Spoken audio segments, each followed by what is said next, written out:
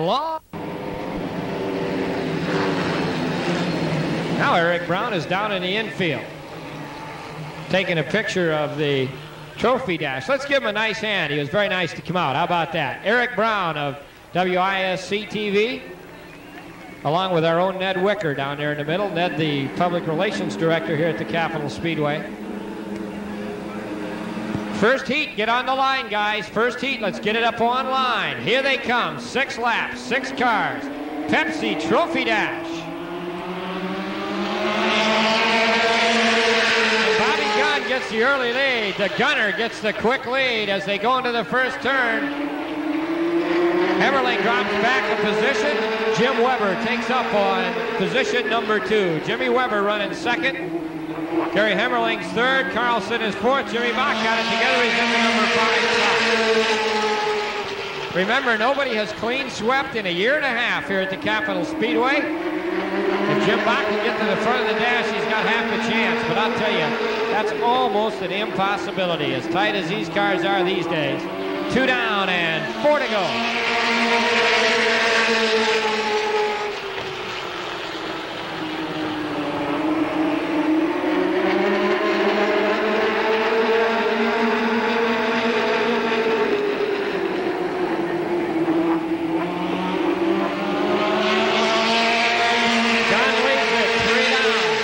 Jim Weber running second. Steve Carlson is third. The 17 of Hemmerling is fourth. Bobby Weiss is fifth. And Jimmy Bach has dropped back to fifth. No sweep tonight. Four down and two as they come by this time.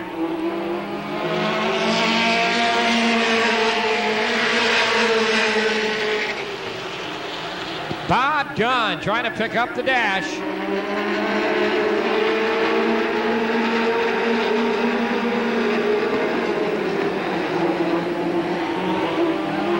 White lap, one to go. Gunn and Weber. Boy, Bobby Weiss off of it a little bit as he'll do some correcting with the handling on the car. Bobby with the problems going in the pit area. Bob Gunn out of Madison, Wisconsin leads Jim Weber. Weber looking to the inside as they come out of the corner, but nothing doing. Gunner wins it. Weber is second. The 17 car finishes third.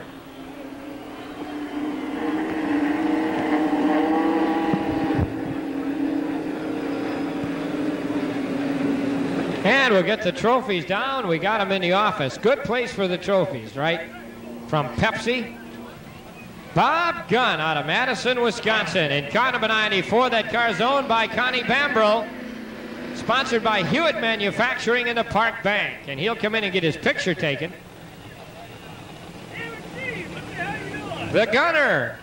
Looks like he's got a, a fan for the trophy girl tonight. She looks more happy than he is.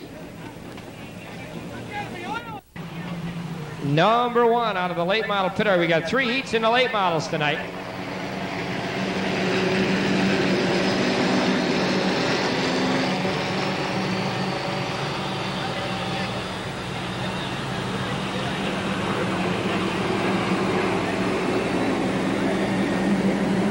All right, here we go.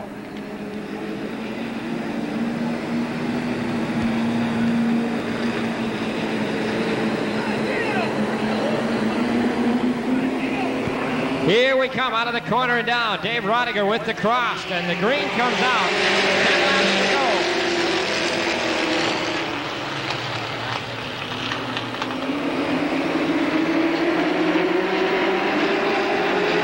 Big Ed Holmes out in front. Eddie Holmes in the 21 car, followed around by Randy Merriman. And with his hand in the air is the 22 of Dino Gross. Dino with a problem puts his hand in the air. He'll take it back to the pit area. And Eddie Holmes slowing off the pace. Merriman takes the lead.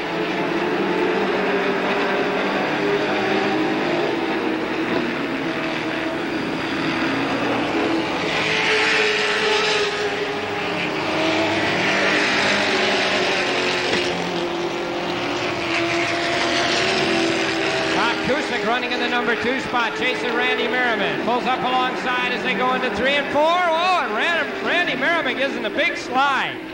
Came way up out of the groove as they both got in a little hard. And Kusick had to keep going out and out and out.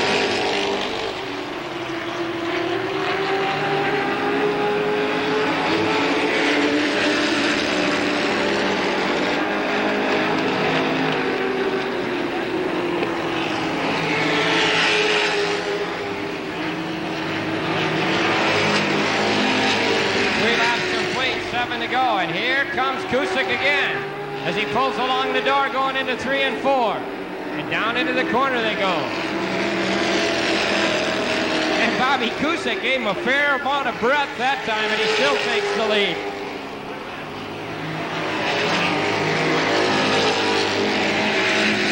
Bob Kusick and Randy Merriman running first and second. Don Snow about to go down a lap. The other 77 car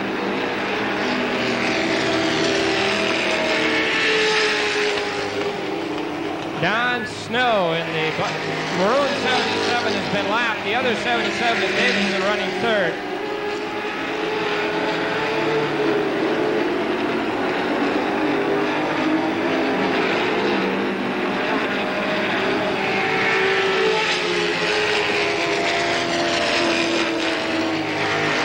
Kusick, Merriman, and Davidson.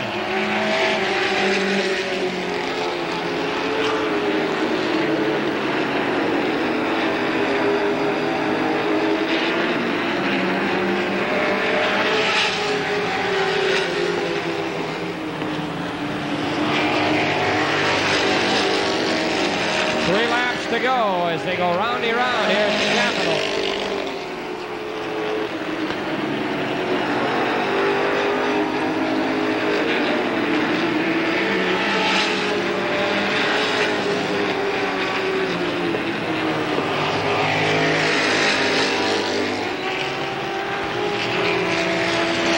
On the white flag lap, Bob Kusick looks like he's in control on heat number one. And Kusick wins it. Second place goes to Merriman. And third place to the 77 car. Street stock drivers report to the shack for your number drawing. Street stock drivers report to the weigh-in shack. Steve or Jerry Eckel meet at the beer stand.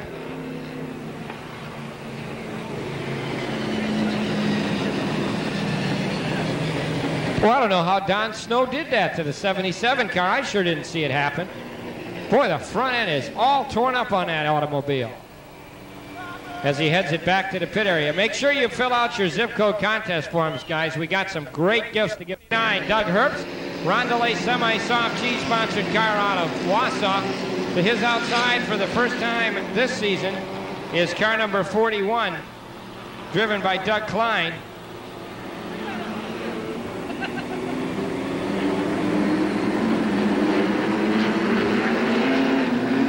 And in the back is Ronnie Bennett. Only Ron, yeah, and Ronnie Bennett is there. So Ronnie Bennett in the 15 car, sponsored by Economy Starter and Alternator out of Waukesha. Down to the green they come.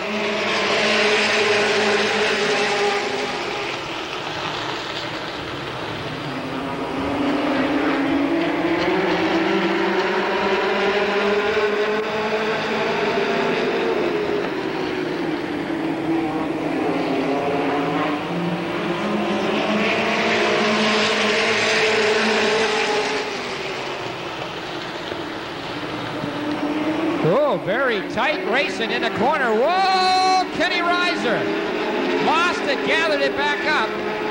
It's down on the apron. Let's see what happens to him. And that brings the yellow out. Kenny Riser lost it. Got down into the infield mud, brought out the yellow flag.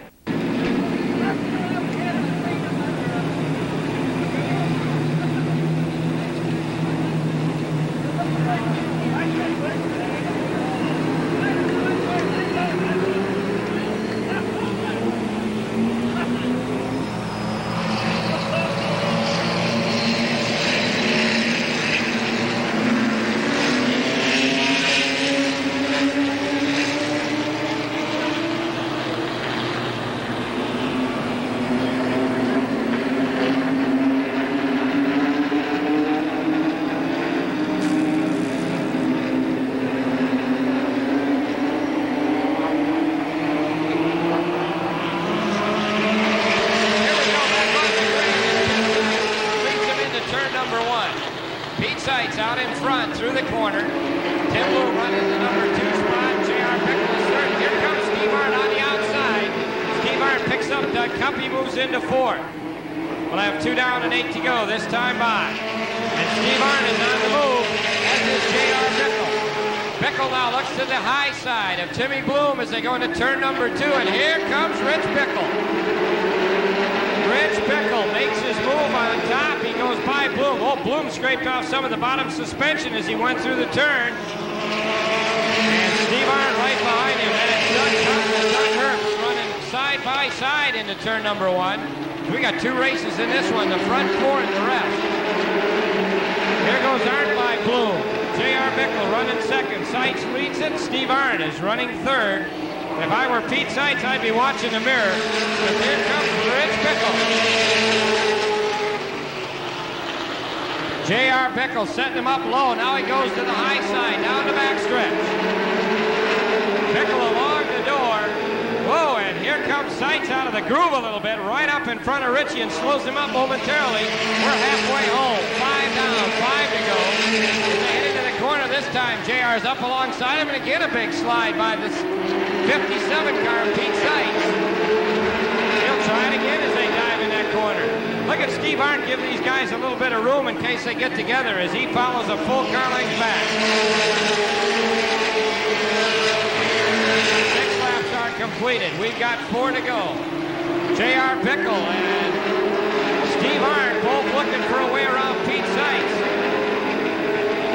And every time Bickle gets alongside, the 57 slips a little bit and holds him back.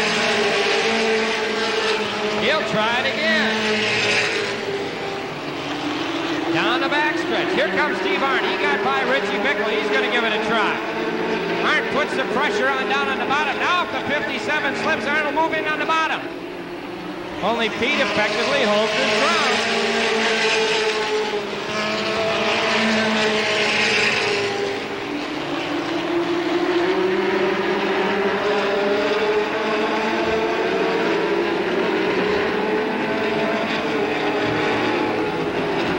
Again.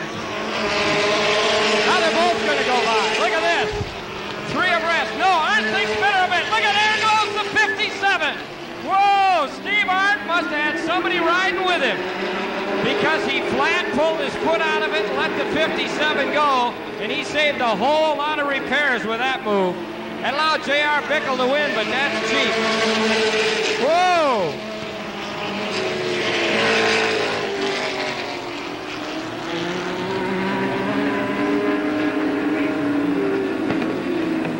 Oh, I don't know Steve got in the car, but whoever's giving him direction sure gave him the right one that time, didn't he? Steve Arndt really used his noggin as he let the 57 go, pulled his nose out of that. Seitz lost it, almost turned him into a snowplow.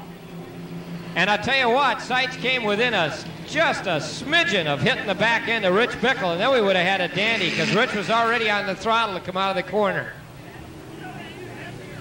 So the win goes to J.R. Bickle. Second place goes to Steve Arndt, a nine car who played it cozy.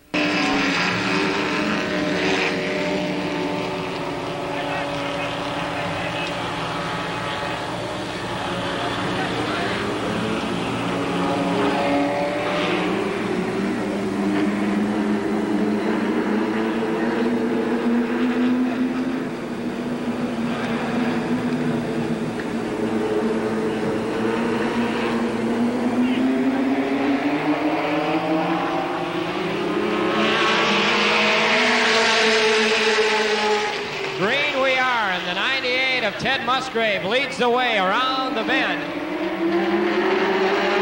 See if the gunner can come up and take another one. Ted Musgrave, your early leader. Kevin Sawinski running second.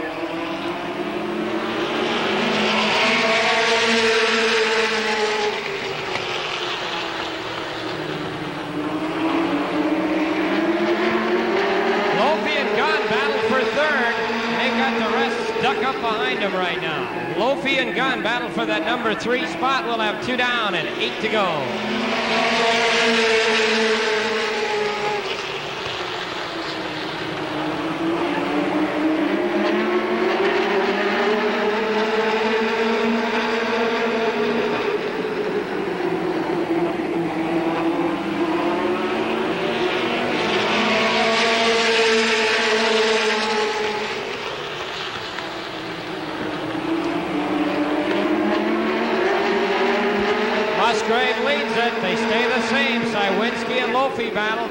Has dropped back to battle with Gary Hammerling for the number four spot.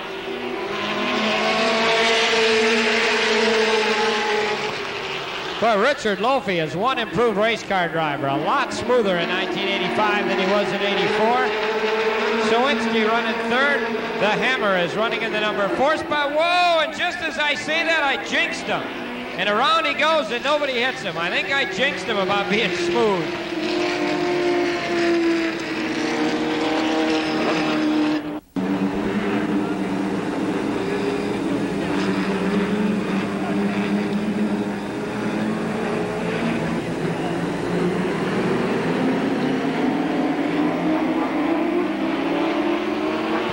Back green we are as Ted Musgrave leads them on.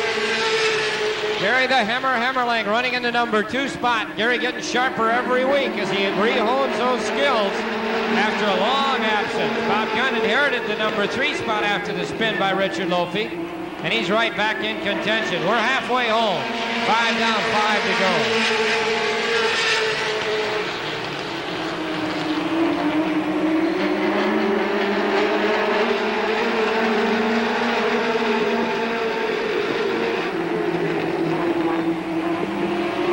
With six laps completed, they stay the same.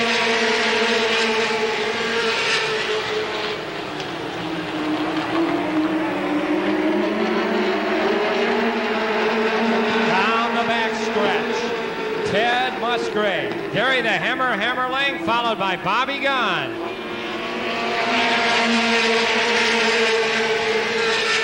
This is like the old days. The gunner and the hammer running second and third, nose to tail.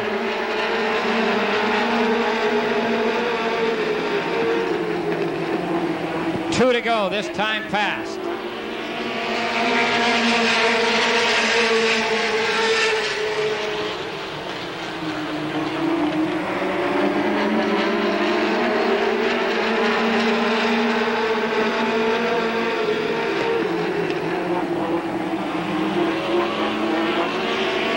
And the white flag's out for Ted Musgrave. The 17 car hanging on to the number two spot, but Bob Gunn is co- continues to put the pressure on down the back.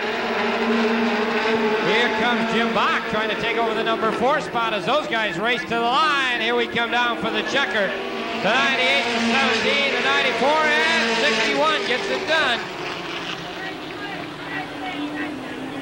98, Ted Musgrave wins it. Second place to Gary Hemmerling. And third spot to the number 94 car of Bob Gunn. And Ned, I think you got some good prizes to give away. Why don't you just take off and give some of those away before the dash cards come out for the sportsman division? Very good, Jimmy Yeager. Thank you very much. We got 10 great prizes from Pepsi tonight, and we'll be drawing names throughout the night. First winner comes from Stoughton, Wisconsin. Wayne Houston. Wayne Houston from Stoughton, Wisconsin. G J E R T S O N. So, Wayne, come on up. You want a 70, Rick Nelson and 76 make up row one. Andy Wenton 18 and Todd Krupp in row number two in the 18 and the 26 car. By the way, Todd Krupp missed last Friday because his sister got married and he was best man. I guess that's a good reason to miss. Dave Phillips in the 27 and Peter Moore, your quick qualifier in the 76, make up the first three rows. Six laps, six cars, dash time, sportsman pit area.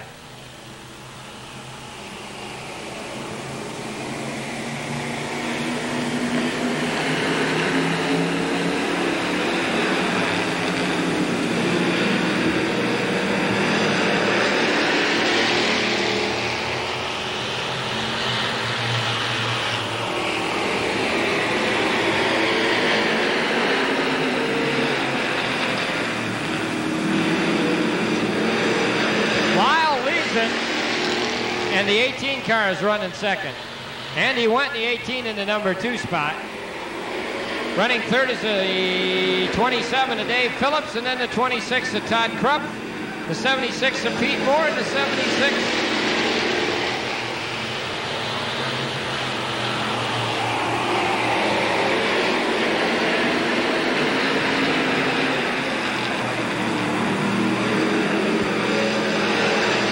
Three laps are complete.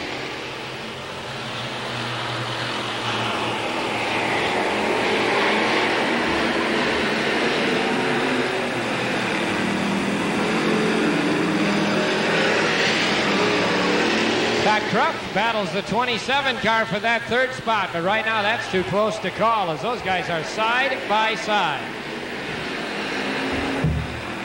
Look at white flag is out.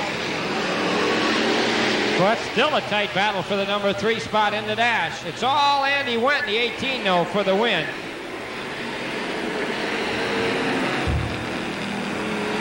And Went wins it. Second place goes to the 70, and the 27 sneaks home for third.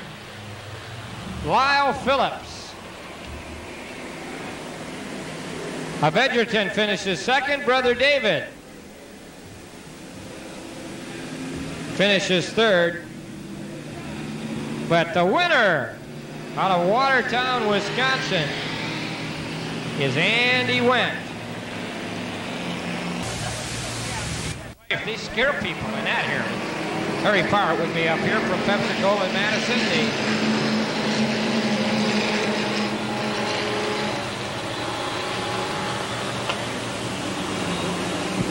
I don't know. He's a big wig down there anyway. I tried to ask him what he is. I think he's vice president of sales. That sounds like a good title to give him. And boy, we appreciate Harry. I'll tell you what, he does a fine job with his sponsorship of motorsports in the Madison area. And him and Mr. Malmquist and those folks over there are super people. Here we go.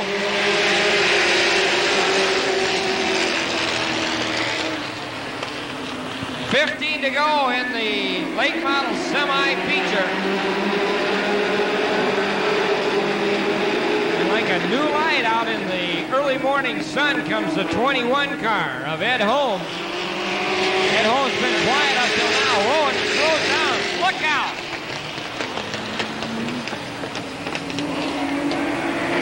Boy, I tell you, Pete Seitz' front end has been remodeled. And so has Cheryl Janis.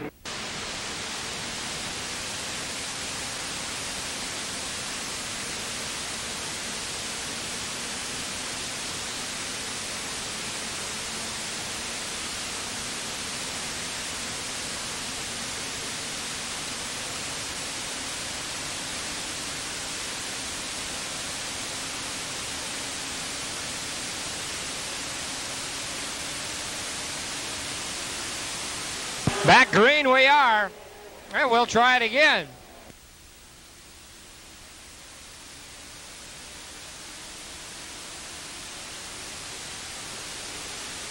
Ron Bennett. Like a rocket. He wants in the feature, and I'll tell you what, he's on the way. Look at Bennett go. And the hand comes up again in the 21 car. Ed Holmes raises his hand. He'll go to the cross stripe. Maybe not. Maybe he'll take one more trip around the speedway and then put it in. Ron Bennett sounding the way he normally does. Bobby Kusick wants to make it two feature events in a row here at the Capital Speedway. Don Snow fenderless working his way around in the tail. Well, we got a three car bunch going here. Doug Cup and Randy Merriman have got Kusick in the middle.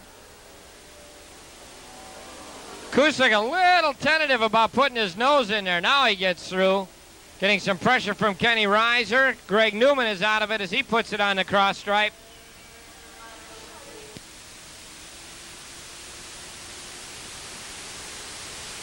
Ron Bennett and Bob Kusick, one and two, the two transfer positions. Cheryl Janis going to need new right front fender on the 26 car when she gets home.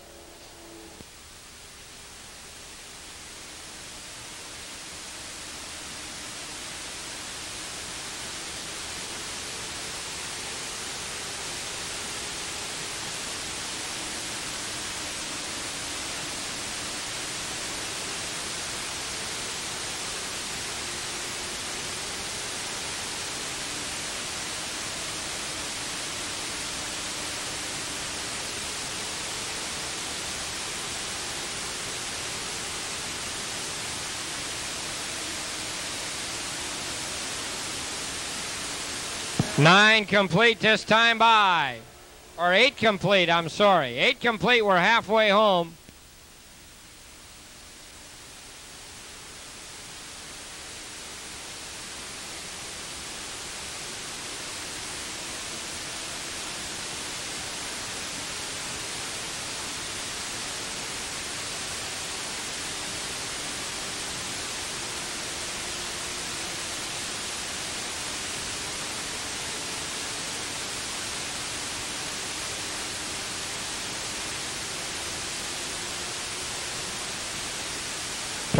Ron Bennett really outclassing the rest of this field as he goes by with five remaining. Snow goes past, then comes Kusick and Reiser. They're going to battle for that number two spot.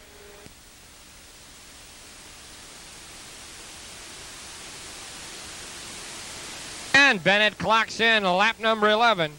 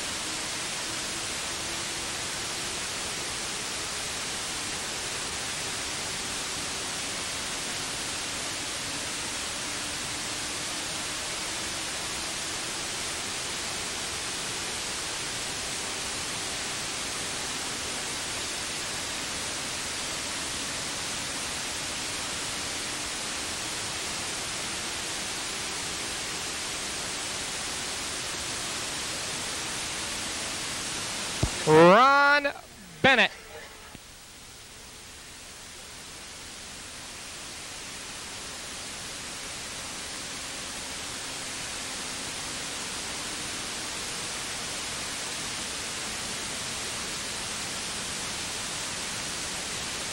Ron Bennett wins it.